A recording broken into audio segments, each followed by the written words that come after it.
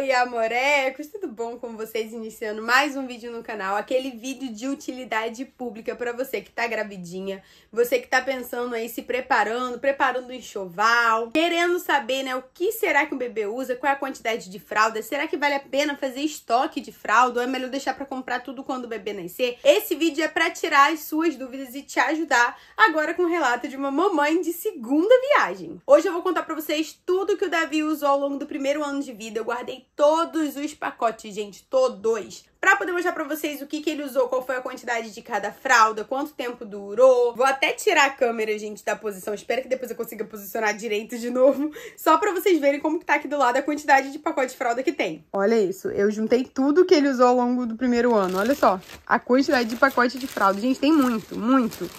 Muito, muito. É que eu juntei tudo aqui pra tirar foto de capa.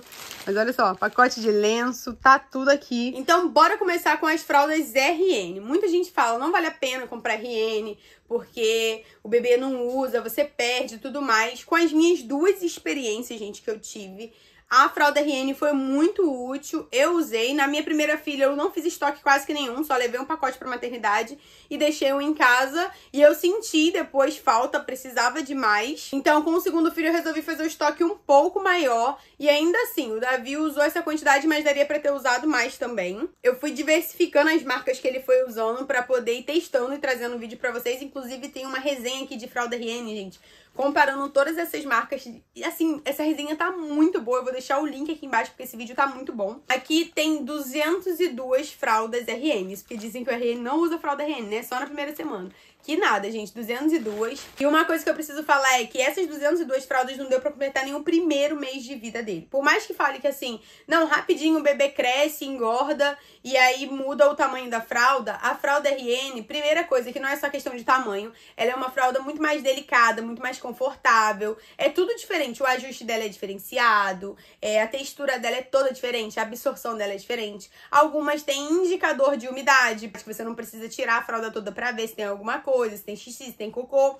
Dá pra ver pelo lado de fora, uma tecnologia bem legal. E no caso das fraldinhas da Pampers, tem essa opção de tamanho aqui, ó, a RN+, que ela equivale basicamente a um tamanho P da maioria das outras fraldas. Essa fralda tem um formato maravilhoso, dá pra usar bastante tempo. Então, se você tem medo de comprar RN e perder, acabar não usando, compra RN+, que aí você vai ter certeza. Com certeza, RN+, você vai usar. Mesmo que o seu bebê nasça mais gordinho, gente. Porque essa fralda vai até 6 quilos. Então, com 6 quilos, eu acho que seu bebê não vai nascer, né? Tem bebês que nascem com 3, 3,5, 4 quilos, 4,5, mas com 6 é bem difícil. O Davi usou essas durante o primeiro mês de vida. Antes de acabar o primeiro mês, ele já passou pra fralda P, porque tinha acabado o estoque RN e eu não quis comprar mais fralda RN. Usei só essas, eu já tinha fralda P aqui em casa, né, que eu já tinha comprado.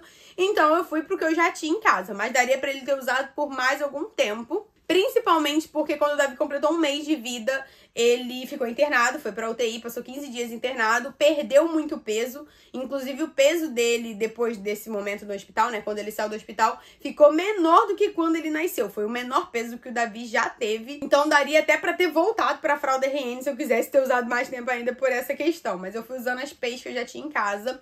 E para mim, fralda RN é super válida. A minha experiência que eu tive nas duas vezes, eu acho simplesmente maravilhosa. Vale a pena sim fazer um estoquezinho de fralda RN, mesmo mesmo que seja pequeno, faz um estoquezinho pro primeiro mês, que eu tenho certeza que você não vai se arrepender. Até porque no primeiro mês o bebê usa muita fralda, gente. Por quê? O estômagozinho do bebê é piquetuchinho, então é assim, comeu, cagou.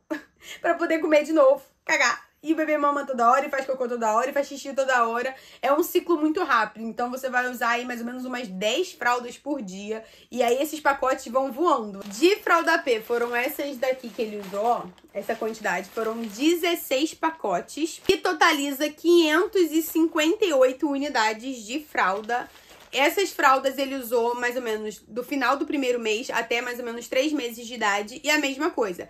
Eu troquei de tamanho depois pro tamanho M, não porque a fralda P não estava cabendo mais, mas porque o estoque que eu tinha de fralda P já tinha acabado, eu tinha fralda M em casa, então eu fui seguindo assim, tá? Mas ele usou essa quantidade, lembrando que teve essa questão da perda de peso do Davi, né, no primeiro mês de vida, então depois até ele começar a recuperar esse peso demorou um pouquinho mais, talvez outros bebês passem mais rápido pela fralda P, não sei. E eu até aproveito aqui para deixar uma dica. Se você tem medo de comprar fralda RN não servir, ou o bebê usar muito pouco, ou de qualquer jeito, gente, eu indico que eu acho que mesmo no primeiro mês de vida do bebê, a pele do bebê ainda é muito sensível. Então, essas fraldas aqui da Hugs, ó, tem a Hugs Natural Care. Essa fralda aqui é perfeita de maravilhosa. Mas também tem aqui, ó, a Hugs recém-nascido Supreme Care, que também é muito, muito, muito boa. Duas fraldas excelentes. Elas são no tamanho P, vai de 3,5 kg a 6 kg, então vocês veem que é muito parecido com a RN mais da Pampers. E elas têm todas as facilidades de uma fralda RN, indicador de umidade, é uma textura que faz separar o cocô líquido da parte sólida e aí não deixa o bebê ficar assado. Tudo isso tem todas essas tecnologias, porém no tamanho P, num tamanho maior. Então é super válido, são muito boas para você usar nos primeiros meses, maravilhosas. Tem um ajuste perfeito, uma cintura muito boa. Então eu indico demais, fica de dica também para vocês. Passando agora para as fraldas tamanho M, que sempre tem aquela dica, né? Quando você tá ali fazendo chá de bebê e tudo mais, todo mundo fala: "Não, M é o que mais usa". Sempre ouvia isso, mas por incrível que pareça, gente, aqui em casa não foi exatamente assim. Sempre aconteceu dos meus bebês passarem rápido pelo M. Então, todas as vezes se eu fizesse um estoque muito grande de fralda M ou confiasse que vai usar fralda M até um ano de idade, eu teria rachado a cara. Essas daqui foram as marcas que ele usou. Tinha pacotões assim econômicos, igual esse, que é bem legal, ó. Vem com 90 unidades de fralda. Isso daqui dura é, dois pacotes desses já dá mais ou menos para um mês, então esses pacotes econômicos ajudam muito para você dimensionar as quantidades. Aqui tem 10 pacotes de fralda M, só que essas daqui são as fraldas M comum, né? De fita, de que você ajusta ali, você coloca um ladinho, outro ladinho. Mas nessa fase também o Davi começou a usar muita fralda de vestir, porque é muito mais prático, né? É um bebê que já é mais durinho, e aí é mais fácil de você vestir ali, de ficar bem ajustado. É um bebê que às vezes já começa a rolar e tudo mais, e você quer uma fralda que aguente todo esse movimento, né? Então aqui teve as fraldas de vestir, fralda, calça, enfim, fralda shortinho. Cada fabricante dá um nome que o Davi usou no tamanho M, ó. E aqui também tem 10 pacotes. Então, ao todo, foram 20 pacotes de fralda M. O Davi só usou fralda M mais ou menos entre 4 e 6 meses, que foi uma fase em que ele recuperou o peso que ele tinha perdido no hospital totalmente, engordou bastante, então ele passou rapidinho pela fralda M. Ainda assim, foram 232 fraldas de vestir e 434 fralda fita no tamanho M, totalizando 666. 666 666 fraldas no tamanho M. E agora, por fim, passando para ela, a fralda G, que sempre é a mais utilizada aqui em casa, é o que o bebê usa durante mais tempo. Pelo menos foi a minha experiência com os meus dois filhos, mesmo eles nascendo com pesos diferentes, tendo desenvolvimentos diferentes, amamentando de forma diferente, o que teve em comum foi isso, que usou muita fralda G. Aí foram esses pacotes aqui, ó, de fralda fita. Ao todo foram 17 pacotes, que dá cerca de 444 fraldas fraldas. E teve algumas fraldas de vestir também no tamanho G.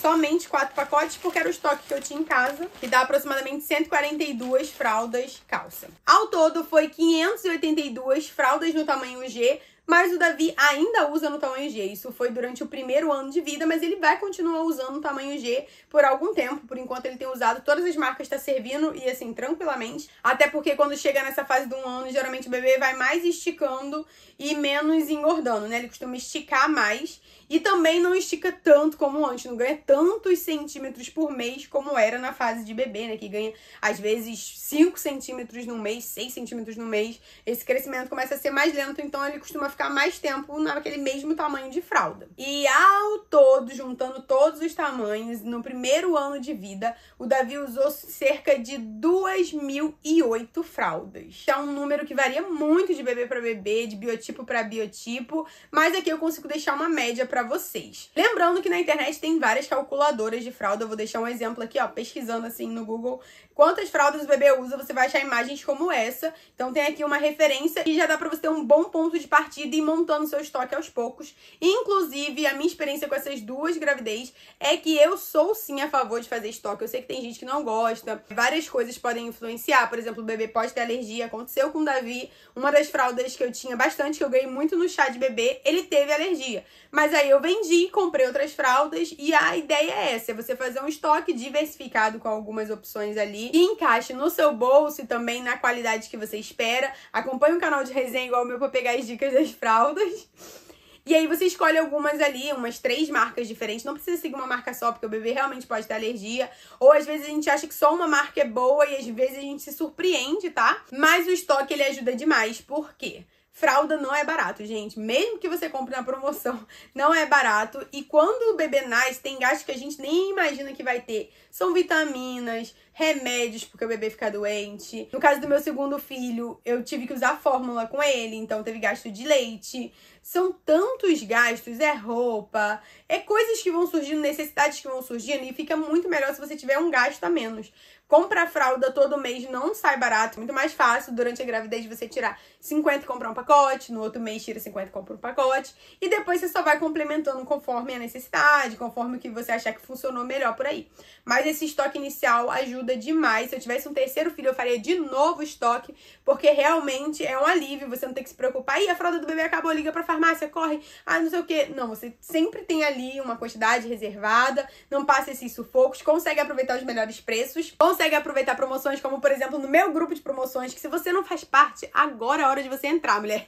Tem aqui o link aqui embaixo para você entrar. Lá saem as melhores promoções em sites confiáveis, produtos que eu recomendo. Eu mesma fico lá, gente, pesquiso para vocês as promoções, indico para vocês. E lá dá para economizar demais. Inclusive, eu sou uma das que mais usa o meu próprio grupo para poder economizar e não precisa pagar nada para fazer parte dele. É só você entrar aqui pelo esse convite do WhatsApp. Então agora eu vou falar também de lenço umedecido, embora seja uma coisa um pouco relativa, eu já percebi que tem muita gente que nem usa lenço umedecido, mas eu guardei os pacotes e vou mostrar pra vocês. No primeiro mês, na verdade, a gente quase não usou lenço umedecido, usamos muito mais algodão, esses algodão assim grandão, sabe?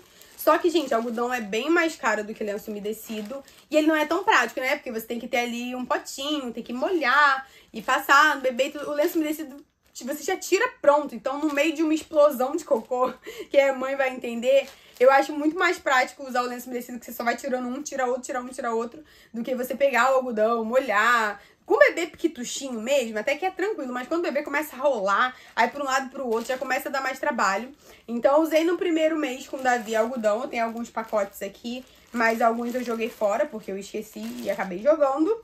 E eu usava lenços umedecidos quando a gente saía, ia numa consulta, em alguma coisa assim. E aí eu usava o lenço umedecido por ser mais prático, né? Por já tá pronto.